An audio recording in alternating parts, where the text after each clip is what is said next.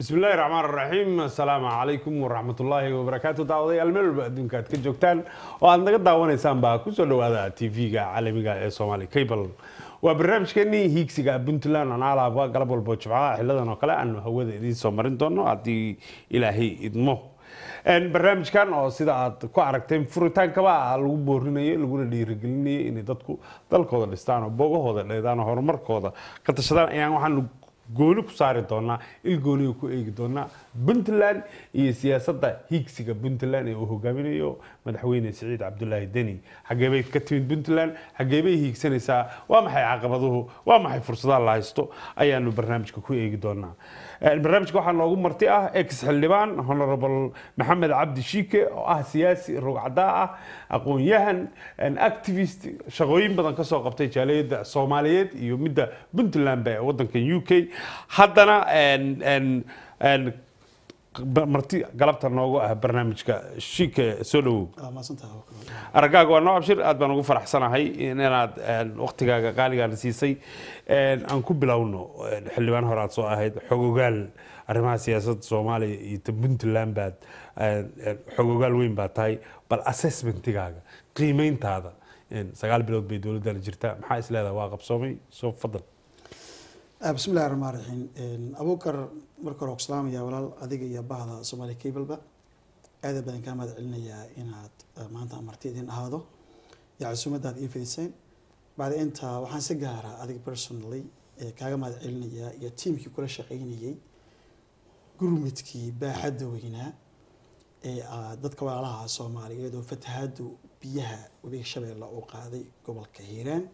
Aada u gurmateen adinkoo maaragtay muujiyey soomaalinimada islaamnimada dadnimada iyo waxaa la kala mudan yahay waxa la isu yahay gaar ahaan tiimkii garowa kaala shaqaynayey markii dambe aad boosaaso tagtay oad kaala shaqaynayey oo aad weliba door fiican ku lahayd sida asxaabta xabiib iyo maaragtay dhalinyaradii kale oo soomaaliyeed oo reer puntland oo weliba xataa lafahooda geeyey maxaa la yirahday baladweyne midaas mid lamidana waxaan u mahad celinaya dowladda puntland oo marna u madaxweyne ku-xigeenku uu maaragtay sagootiyey gurmadka marna madaxweynaha uu sagootiyey iyo culimaa diinkiba taasi waxa weeye mahadnaqa guud oo aan adiga iyo maaragtay dadkii soomaaliyeed oo hawsha u qumay oo aad ilaahayna ugu dhawaaneyseen dadkiina u gurmanayseen.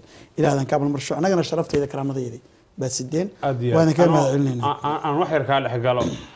Runtii goobjoog baan ka ahaa ilaah baa igu beegay laakiin hawshaan dad badan baa ka shaqeeyey mahadcelinistaas anoo sii ballaarinayaan u mahad celinayaa sheekh fu-aad aflow gudoomiyaha ku-xigeenka alwinaaj sheekh ciise ragga ilaa hadda beledweyne ku sugan magaalada boosaaso gurmadka ugu weynaa meelay joogaan majaaliyadda puntland runtii waxay ahayd arrin qulubta soomaaliyeed isu soo jiiday reer waxaad moodaa inay si toosa uga jawaabeen baaqii madaxweynaha ahaa ha loo gurmado dadkaas walaalaheena sharaf bayna ii ahayd runtii inaan ka qayb qaato waa mahadsantahay aad mahadsan tahay anna waad igu matalaysay intaan goobjoog ka ahayn adinkan ilaah inkaana marsho markaan u soo noqdo barnaamijka su'aasha xaggee la higsanayaa abukar puntland waxaa la sameeyey nineteen ninety eightkii bishii february kun sagaal boqol sagaashan iyo sideedii maalinba stage ayay soo mareysay. Waxaan is leeyahay twenty years later labaatan sano oo ka bilaabatay xilligii maxaa la yihahda la aasaasay puntland nineteen ninety ilaa hadda. Today meenta meesha ay higsanaysa waxa weeye development waa waxa weeye development stage bay gaartay. Political stagekii waa la soo gudbay.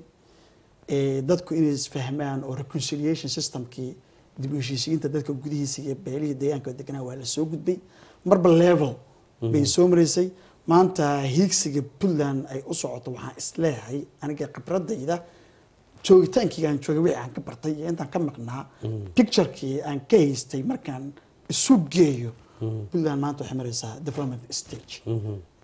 Stage horumar la dhiso kaabayaasha dhaqaalaha ee dalka kor loo soo qaado nolosha dadka kor loo soo qaado social maaragtay arrimaha bulshada sida caafimaadka waxbarashada laamiyada biyaha in maaragtay la tayeeyo waddooyinka in la ballaariyo dekedaha iyo airbortka system development ah oo stage abay hadeertaan maaragtay mareysaa waxaana aan is leeyahay in la tiigsado meesha.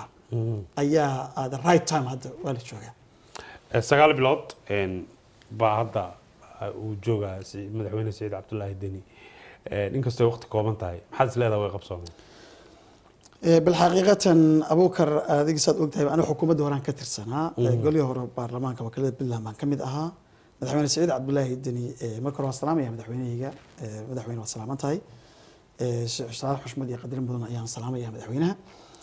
Isaga iyo maaragtay madaxweyne ku-xigeenka weliba aan si gaaran saaxiib u nahay sagaalkii bilood. Markaan u soo noqo su'aashaas waxa weeye madaxweynuhu sagaalkaas bilood wax la taaban kara iyo xukuumaddu qabatay. Ma oranay madaxweynaha xukuumadda wax la taaban kara qabatay. In wax la abuuro oo vision la keeno waxaa ka muhiimsan horta wixii yaalla in la fuliyo. Kadib bay aragtidu timaadaa. Waxaa madaxweyne oga mahadnaqayaa hawshii socotay oo xukuumadda hore ay dhammaystiri weyday. Oo waktiga ama ha ku gaabto ama duruufo kale ha xanibaane inuu maanta madaxweynehi meesha ka sii ambaqaaday. Sida dibi cusboonaysiintii ballaarinta degada boosaaso. Oo weliba haddaan u malaynaya waqti cayiman in loo qabtay d p wall ama b o kamaniga la yiraahdo oo hawsha mas'uulka ah. Waxyaabaha la qabta waxaa ka mid ah madaxweyne waa isaga china tegay isagoo maaragtay rabaa in uu la fuliyo mashaariicdii dowladda china ay puntland ka fulinaysa sida maaragtay dhismihii waddada dangarayo ilaa iyo maaragtay el kor u qaa- maaragtay em, dhismihii maxaa waddada laamiga garow iyo boosaaso isku xiraysay oo dowladda china ay waday Mashruucii aeroboortka magaalada gaalkacyo oo ah madaxweynehena dhowr jeer uu ka hadlay. Waxaana si wanaaga madaxweynehu wuxuu la kowsaday barnaamijkii dhismihii dekeda garacad oo markaasi early stage marayay oo qalab badan oo maaragtay loo baahnaa in dalka la keeno xukuumadda hore intii joogtay aan la keenin. Marka dambena ay European Unionka iyo ciidamada NATO ay qabsadeen markabka alaabta waday. Oo qalab muhiima saarnaay oo dowlad mooga cidkaan lagu aamini kara madaxweyne saciid cabdullahi diin xukuumaddiisu waxay geed dheer iyo geed gaab u koreen inay beesha caalamka gaar ahaan NATO iyo golaha ammaankaba ku qanciyaan alaabtaa in ay tahay alaab puntland u socota. Puntlandna ammaankeeda ay sugi doonto. Layahayna barnaamij eh, qalabkaas yahay qalab lagu dhisay deked waxyaabaha achievementiga ugu muhiimsan oo madaxweynaha saddex bilood ugu horreysa uu qabtayba. Bay ka mid khudbadda madaxweynaha ku jidhay in nato iyo golaha ammaanka ay isugu yimaadeen garcad hawsheeda. Eh, waa wax la taaban kara weeye. Soo noqolinta la soo nooliyo mashruucii wadadii eh, gaalkacyo garowe oo xanibnayd oo European Unionka iyo Germanka ay maalin dhaweyd ee garowe tageen. Waa la socotaa waxaa la sameeyey hadda oo la qabtay dhismihii wadadii burburtay daadadku ay qaadeen oo u dhexeeyey ee garowe iyo boosaaso waxaa sanduuq gaara loo sameeyey oo gudiyadii la soo xoojiyey waddada ceel daahir waa la socotaa Ee, marka waxaan is leeyahay madaxweynuhu wax badan buu wadaa. Waxaa aad iyo aad u- u- ugu faraxsanaa waxa weeye reformka ku socda dhismaha ciidamada puntland. Oo madaxweynuhu hadda uu shan xero ee, sameeyey oo qaarkoodna hadda tababarkii uu ka dhammaanayo qaarna hadda la xarinayo ciidamadii waxa weeye oo la talisho uu la tashanayay wuxuu gartay inuu la tashado saraakiishii maadaama isaga uusan ahayn ee, nin Military ah. Wuxuu fursad siiyey saraakiishii dalkan u soo shaqeysay kuwii retireka ah dalka soomaaliya madaxda ka ahaa general morgan iyo general maaragtay ee, rag badan ay ka mid yihiin am sorry haddaan xasuusan waayo. Een, talooyinka ay soo jeediyeen buu qaatay. Marka taas waxay wadaa maaragtay waxaa hadda socda dhismaya xerooyinkaasi ciidamada qaabeyntooda ama asluubta iyo booliska ha aadaan. Marka an waxaan is leeyahay so far sagaalkaa bilood wax badan baa la qabtay oo aan eh, la qaban karaynin muddo badan. Waxaad ahayd dabcan xildhibaan horaad ahayd een, puntland. Waad la socotaa arinta guddoomiyihii hore ee baarlamaanka. Iyo weliba hadda nin eh, saaxiibkaaga guddoomiyaha cusub arintaas commentigaaga fikirkaaga aad baa mahadsantaha abukar marka hore waxaan rabaa inaan fursadda uga faaidaysto inaan u hambaliyeeyo saaxiibkii cabdirashiid jibriil.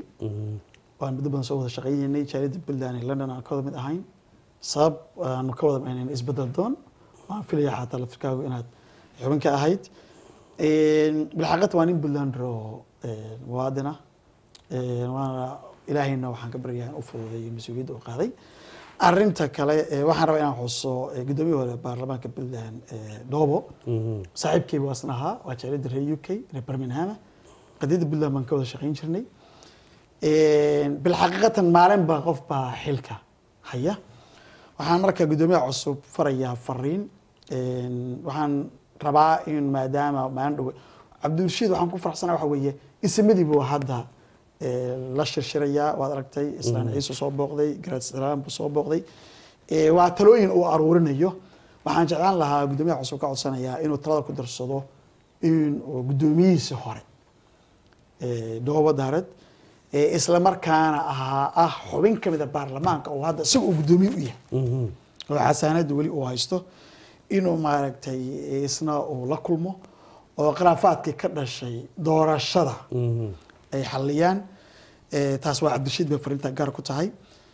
Waxaan sidaas lamida ka codsanayaa saaxiibka dhoobo waxaan ku aqaanaa nin shaqo badan buu ahaa dhoobo subaxii baarlamaanka waxaa la furi jiray puntland eight in the morning. Dhoobo seven forty five buu joogja waa ninka keliya oo mar walba iiga hormari jiray aniga personally. Bikaas markaan qurbaha ka tagno ogta dadka kala ahaan xafiiska iiga hormari jiray. Waa nin shaqo ahaa. Waxaan ka codsanayaa marka shaqadii ummadda u hayay weli dhooba uu u hayaayo waa xildhibaan golaha wakiilada dowladda puntland ka mid ah. Waxaan jeclaan lahaa maadaama toban sano uu xildhibaan ahaa dalka iyo dadkan uu u soo shaqeeyey in uu qiimeyn ku sameeyo marxaladda dalka uu marayo una daneeyo shacabka u daneeyo bulshadii dooratay u daneeyo saaxiibadiisa anagu aanu ka mid ahayn iyo kuwa baarlamaanka jooga oo uu la shaqeeyo baarlamaanka cusub. Wixii tabasha ana wada hadal lagu dhameeyo taasna messageka maarata waa waxaan farayaa dhoobo waana ku farxsanahay maarata so far so good sida arinta loo handhalgelaya waa ku farxsanahay aada iyo aad waa umahadsan tahay wax badan baan ka taabanay waxqabadkii. Dabcan dhinaca kale caqabadaha dowladda soo fadsaaray waxaa ka mid ahaa shaqaaqadii ayaantii dhaweyd ka dhacday boosaaso. Arintaas fikir ahaantaada abukar waa su'aal aada u fiican weeye. Waxaan rajeynayaa marka horena inaan kaaga mahad celiyo laftigeeda boosasad joogtay waan ku aqaanaa nin maaragtay muwaadin soomaaliyeed baa tahay. Marka doorka aad arrintaa kulahaydna mahad gaaraan maaragtay kaaga jeedinaya adiyo dhalinyaradii isu abaabusha in arrinta u kacdo. Maanta lamida waxaan u gudbinayaa isimadii iyo waxgaradkii ganacsatadii maamulkii dowladda sida guddoomiyihii degmada guddoomiyihii gobolka madaxdii saraakiishii gobolka joogtay culamaa udiinkii civil society-gii aqoon-yahankii sida ay u handalgareeyeen arintaas middaa lamida waxaan u dirayaa saraakiishii ciidamada puntland oo iyaguna u dhabar adeygay inay fursad siiyaan nabadda. Dowladdana sidai arrintaasi u handalgaraysay aad iyo aad baan maaragtay uga mahad celinayaa dhalinyaradii reer askarta iyadoo gadoodka samaysayna laftirkooduna in ay mas'uuliyad muujiyeenna. Waxay sharafti iyo qiimo gaara u tahay heybadii dhaqanka ummaddan. Ay leeyihiin. Shaqaaqooyinkaasi waxaa waxaa waxay ku dhammaatay sidii ilaa ugu talagalay xukuumaddana sida ay u wajahday si maaragtay marnaba la heli kara maaha. Waana wax aada wanaagsan. Markii khilaaf yimaado in qaabkaa loo wajaho lagana fogaado wixii dalka iyo dadka iyo ummadda dhibaato u keenay wax walba waxay u baahan yihiin dialogue. Wadahadal in laga sameeyo. Xukuumadda madaxweyne siciid ooga mahadnaqaya approachka inuu qaatay oo ay arrintaasi ku engage gareeyeen sidii ku habbooneyd. Looga mahad celinaya aada iyo aad. Dhinaca kale waxaa dowladda tani toddoba bilood gudahood waxay ku magacaawday guddigii doorashooyinka oo la filayo doorashooyinka soo socda puntland waara gaaray one man one vote arrintaas realistic kula tahay? Macquul ma kula tahay? Waa maxay fikirkaa ku aad? Abuukar soomaalida waxay tirahdaa wixii rabbi tayeeyo. Dadna ay u kacaan. Waa hirgalaan. Waxaaba qiimo leh. kaftame waa la bedelay qurbaha. Oo waxaa la yidhi wixii ragu kaco dumarkuna rabaan. Rabbina aqbalo. Waa taas wey gumarka qoondadoodii guddigaa way ku jiraan marka ay apologize haddii maaragtay anigu af soomaaliga hore iyo akademiyadii qaranka iyo wixii baan maaragtay eh, qaabka horaan raacay ay apologize qoondada dumarka markasta waa untouchable. Eh, marwada walaasha haaska. Ma garanaysaa? Markaan u soo noqdo pointiga madaxweynuhu iyo xukuumaddaba arrintaas way abaareen. Xilli hore ayay ku dhawaaqeen waxaan kaloo aada ugu mahad celinayaa baarlamaanka puntlandna inuu ansixiyey daraad. Guddiga marka waxaa looga baahan yahay waxa weeye structurekii inay soo diyaarshaan multi part systemka. Inay soo diyaariyaan waxaa igu maqaalo ah kolley european unionka iyo u s aid iyo hay'adahaas ayay darad iyo shalay kula kulmayeen garoowe. Qeyb ka mid a guddiga. Laga soo dhiskaas garayn karo qaabka nidaamka demorasationka puntland ay qaadan doonto waa la socotaa dalkeena soomaaliya. Ilaa hadda am sorry topiga kuma jiro. Laakiin maadaama aan ka hadlayno nidaamka xisbiyada waxbaa ka quseyn doona. Waa la socotaa dalkeena soomaaliya konton xisbi baa hadda muqdisho ka jira.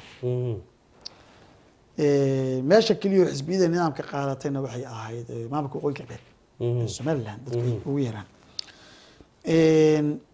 Ilaa hadda waxaa loo gudbi layahay dhinaca somaliland doorashada inay dhacdo la socda crisis-ka jira iyo baarlamaankii oo sii siyaadsanaya guddiga marka puntland markaan u soo noqo tobikeyga wixii aan qaldayaa laga raali noqdo ama aan meesha ku jirinin guddiga puntland madaxweynuhu uu iyo xukuumadda ay soo magacooday baarlamaankan uu ansixiyey waxaa looga fadhiyaa saddex arrimood inay sameeyaan kow inay talada la wadaagaan xukuumadda labo inay talada wax ka siiyaan elitiska puntland ama waxa loo yaqaano ururada bulshada oo civil society-ga. Inay talada wax ka siiyaan birmigeedyada oo ay aroorshaan aragtida ummadda. Waxaan ka rajaynaynaa qaarkood inay dibadda soo aadaan oo aragtidayada ay arkaan. Waxaan is leeyahay laba iyo tobanka biloodoo soo socota haddii ay ay maanta la bilaabay la magacaabay ilaa laba iyo tobanka bilood sanad gudihiis ay aragtidaas aroorshaan waxay heli karaan road mapkii ay ku abuuri lahaayeen xisbiyada. Puntland xisbiyada ay qaadan ka dhana waa la yaqaanaa taladooda marka waan ku faraxsanaha mar raba inaan ka hor dhaco waxaan rabaa in ayaga fursad siiyo laakiin waa muhiim inay dadka tala wax ka siiyaan. Ummaddana wareystaan doodo qabtaan. Aad iyo aad aad iyo aad weli waxaan dhex dabaalaneynaa barnaamijkii hiigsiga puntland. Wixii fariintaada iyo fikirkaaga waxaad noogu soo diri kartaa hiigsiga at somali cable dot t v. Waa hiigsiga at somali cable dot t v. Qadadka taleefonka ayaan hal iyo laba siinaynaa bal qof ka horreeya alo salaamu calaykum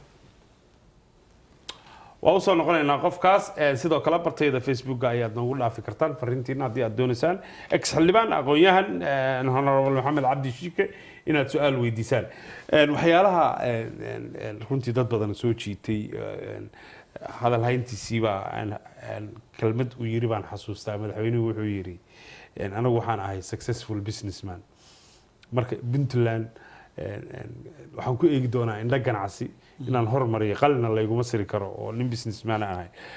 Waxyaalaha hadda soo kordhay waxaa ka mid a miisaaniyaddii oo kor kacday meeqa miisaaniyaddu wey sanadkan maxaase kula tahay aragtida abukar intaan taas gelin waxaan rabaa waa run waxaan ku raacsanaya madaxweynuhu inuu businessman ahaa inuu dalka muddo badan ka soo shaqaynayay inuu local ahaa oo ganacsado ahaa reer puntland ahaa muddo badan siyaasi weyn ahay oo dowladda federaalka ha wuxuu ahaa wasiirkii qorsheynta dowladdii federaalka xilliga xasan sheekh trump baan waxaan ka bartay mar uu tegay sacuudi carabiya buu wuxuu la kulmay boqorka boqor faysal donald trump. Hey. marka shir laba maalmood socday baa five hundred million. Mashruuca baa looga saxiixay Mhm. marka markuu ku noqday washington oo reporters kula hadlay wuxuu yiri I'm a businessman. Gacmuhu taagay. Mhm. I am a bus- he was very proud inuu businessman ahaa Mhm. marka waxaan aad iyo aad ugu faraxsanahay eh, madaxweyne saciid cabdullahi deni inuu businessman yahay. Mhm. businessmanka qofka marka muxuu kaga bedelan yahay qofka kale. Waa inaan fahnaa Mhm. businessmanku waxa weeye wuxuu abuuraa shaqo. Shaquu abuuraa ganacsi buu abuuraa faa'iiduu raadshaa. Si faa'iido u helo waa inuu shaqo abuuro. Dadka shaqada loo abuuraya si u noolaadaan waa inay shaqeeyaan. Marka waxaa loo baahan yahay institutions badan oo ganacsi in la furo for example marka haddii hadda la bilaarsho dekeda boosaaso Mhm. waa la socotaa dhinaceeda ee dekadii hore macmulo waxaa la sameeyey kalluumaysi ah Mhm. xukuumaddii hore ha samaysay xukuumaddan way sii ballaarisay Mhm. haddii marka een, dekedaasi la ballaariyo dekada garacad oo ilaa iyo etoobiya ilaa iyo sud sudan investment la gashan karo waa la socotaa garacad buu ka degay wuxuu geeyey turki hindi chinese american wuxuuna yidhi marka waxna waa leenahay buu yidhi waxna dadkaa nala leh. Hadalka waxaa xasuusta madaxweynaha ku hadlay. Wax waa leenahay dhulka iyo dadka iyo deegaanka iyo dekada innaga iskale waa hantidayadii waxna waa nala leeyahay oo dadka maal gashanaya inay wax ka helaan bay rabaan. Dadka maal gashanaya marka waxay shaqo u abuurayaan dadka. Marka meeshuu ka leeyahay ama business man waxay ka soo arooreysaa mashaariicdaasi ka soo Een, dhinaca kale siyaasadda haddii la fiiriyo jubbaland madaxweynuhu waa tegey waxaa socota wada hadallo een, dhinaca federaalka ah aragtidaada isu soo dhaweynta shacabka iyo dowladda soomaaliya iyo maamul goboleedyada waxay kula tahay bismi llahi raxmaan raxiim waa su'aal aada u fiican. Abukartan jubbaland intaan u gudbin waxaan rabaa inaan dib ugu noqdo arrintaas. Eh, bishii may dabayaaqadeedii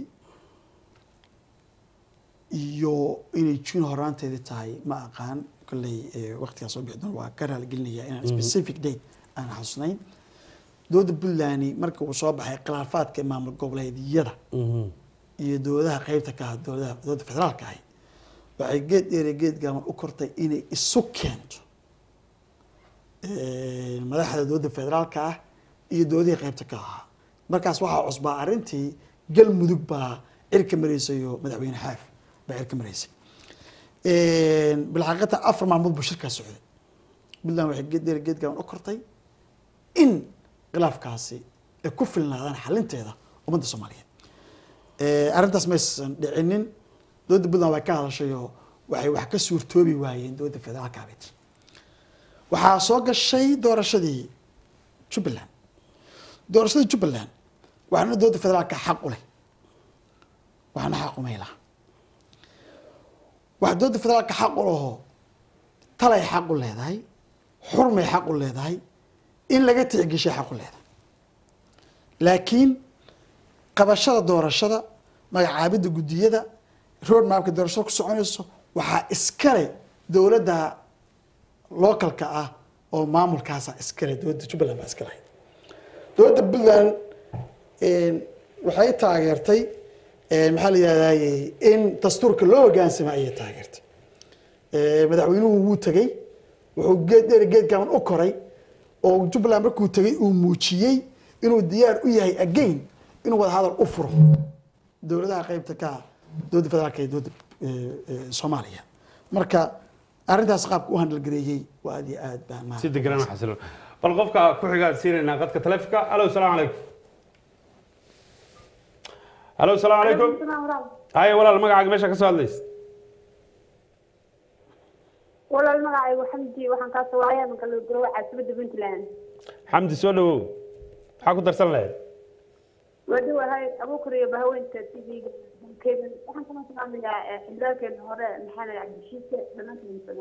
سلام الله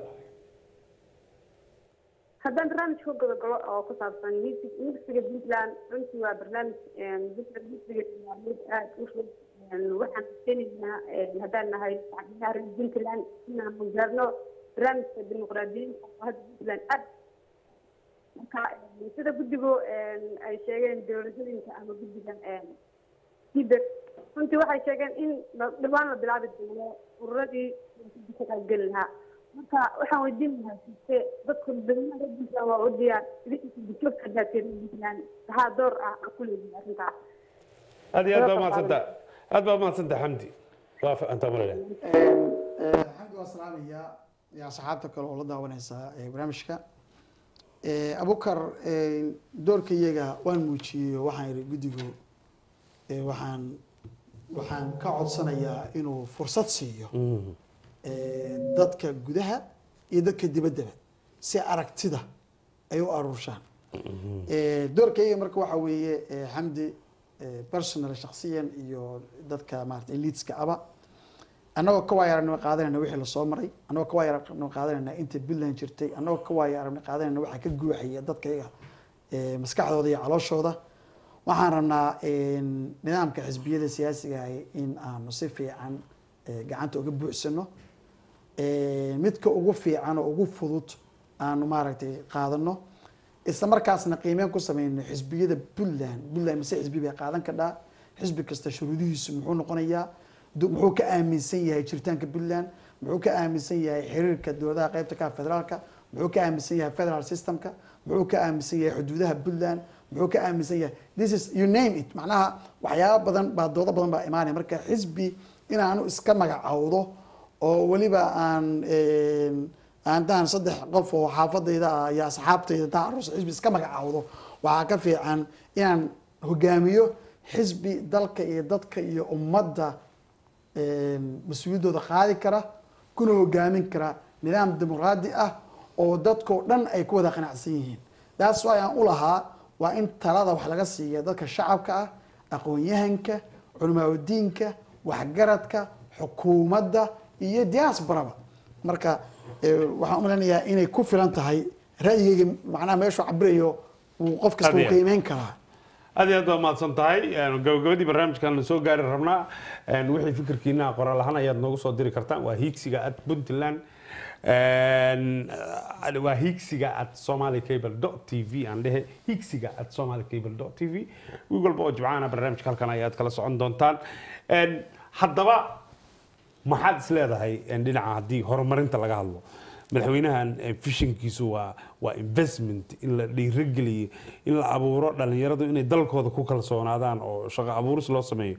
Door noocee ay ka cayaari karaan ganacsatada ama qurbo joog ha aadan ama kuwa gudaha joog aadan. Abukar waa su'aal aada u qiimo badan weeye. Ganacsatadu doorka ugu weyn bay leeyihiin. Markaan leeyahay doorka ugu weyn bay leeyihiin hantidii ummadda iyaga haya shirkadii waaweynaa iyagaa maamula. Businesskii iyaga haysta.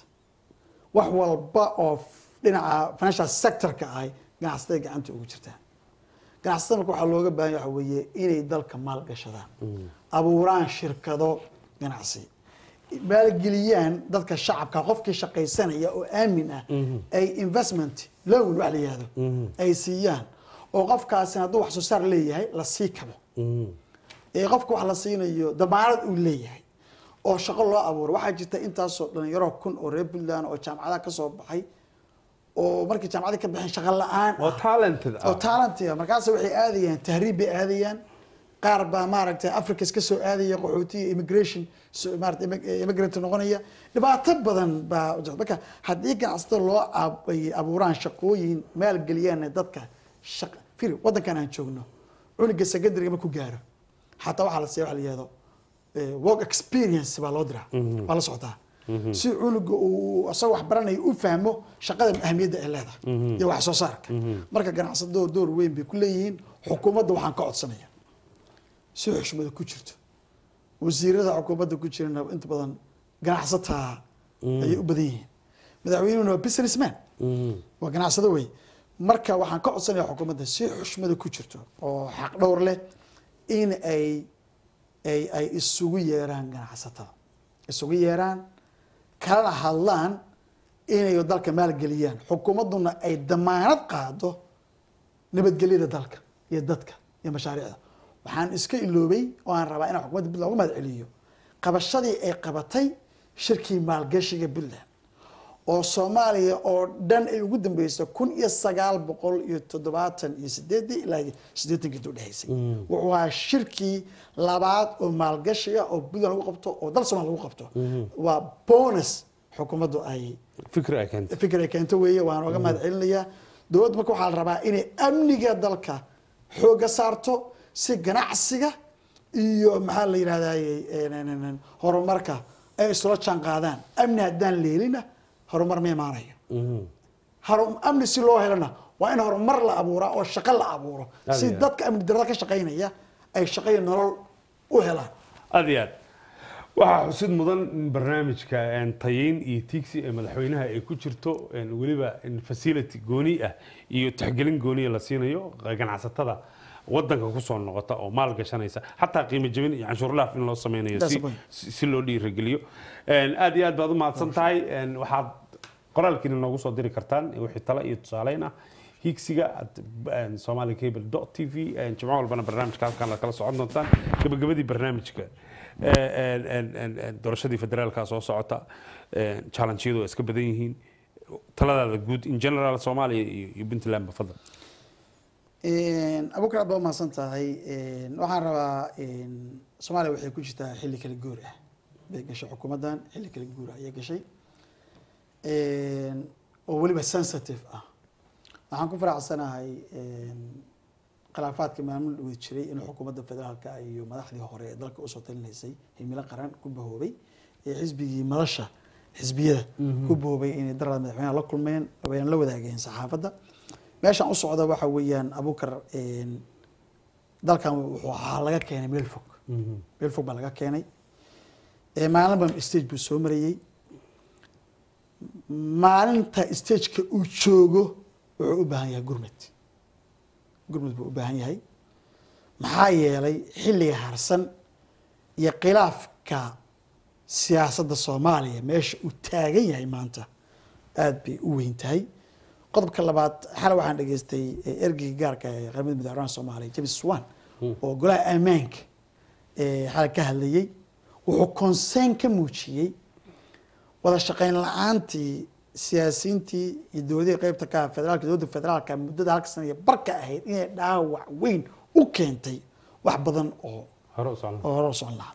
Marka waxaa loo baahan yahay waxa weeye doorashada soo socota xukuumadda federaalka waxaan madaxweynaha iyo dowladdaba si xushmad looga codsanaya waxa weeye.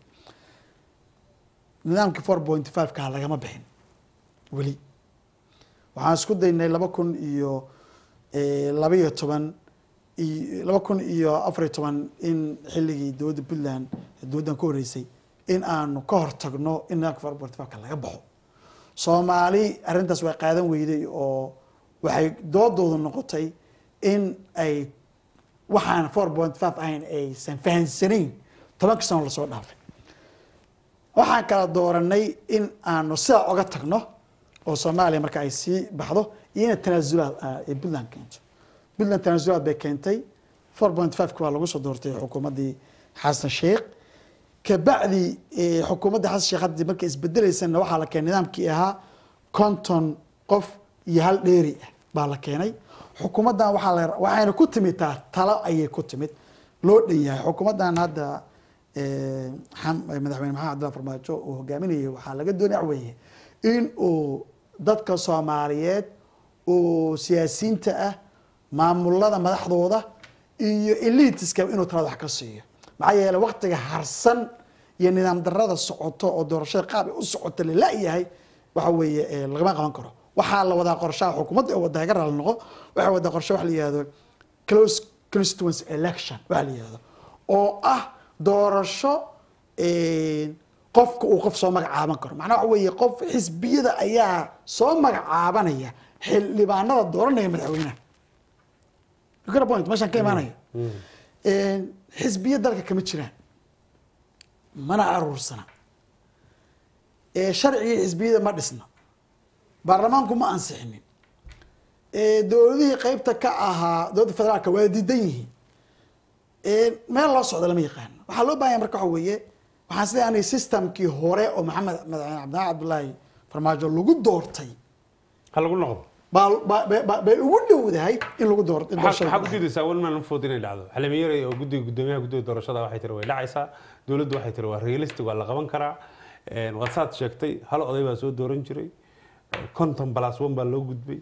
Intaa inta in lagu sii daro in meelihii ay ka dhici karto wax un in la dhaqaajiyo oo bulshada shacabka codka wax laga siiyo maxaa ku diidanta Ee, waxay taasi xoojinaya waxaan ku diidaa waxay taasi xoojinaysaa musuq maasuqa marka hore musuq maasuqa wuu aruursanaa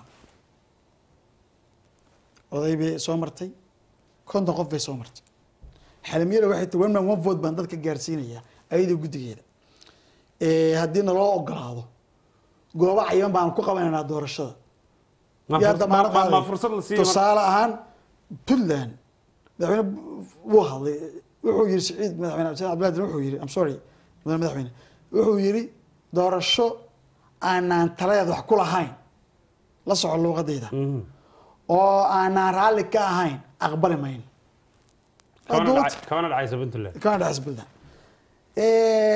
galmudug waxaa ka socda waad aragtaa oo waxaanba ka cabsi qabaa in saddex madaxweyne ay ka soo baxdo. Doorashadii ka dhacday baydhabo waayadii beesha caalamku airbood ka soo bixisay. In dadna lagu laaya basmaasan ka dhacay. Oo hadda la leeyahay baarlamaan hore laha la soo doorto.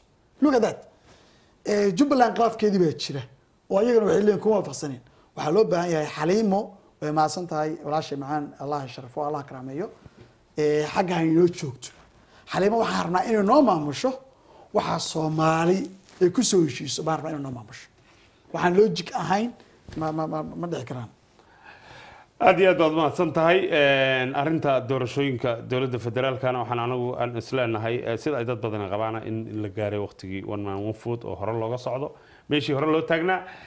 Waa barnaamijkeeni higsiga puntland ayaad weli daawanaysaan. Waxaadna nagala soo nagala soo xiriiri kartaan.